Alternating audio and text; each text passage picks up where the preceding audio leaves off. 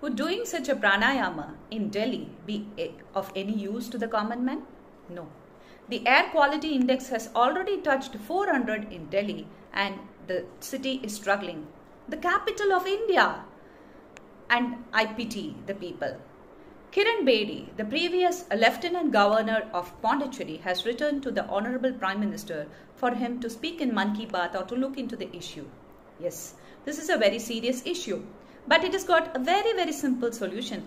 The place where all parliamentarians sit in our country, they have to look into it as it is the pride of our country. Simple. Involve IIT, IISc and DST and other scientific centers of our country and the rich of the country. What are we going to look into? 1. The farmers problem. 2. The vehicles problem. 3. The smog in the air, in the atmosphere. Farmers problem is solvable. Ask the farmers not to, not to burn their harvested uh, grass. Then what do we do with this grass? This grass is medicinal according to Ayurveda.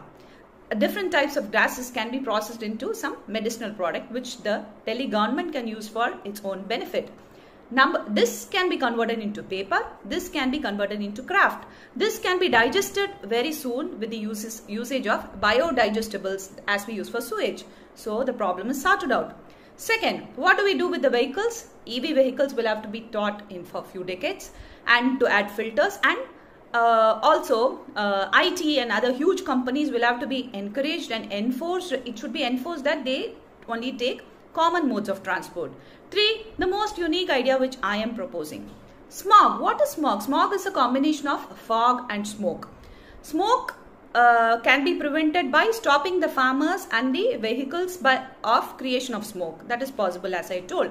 But what do you do with the existing smoke which has been created, smog which has been created? Think.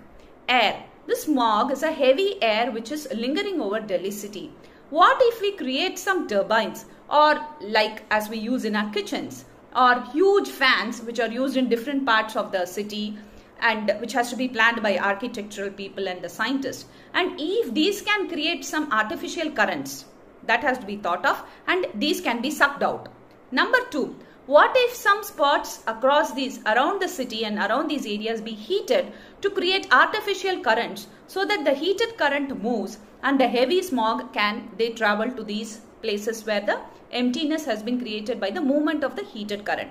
These will also have to be thought. Simple, all the scientists and all the wealthy and all the NGO and the parliamentarians in India will have to sit and discuss. Best wishes, Delhi from Dr. Meera Sudheer, NPCTM.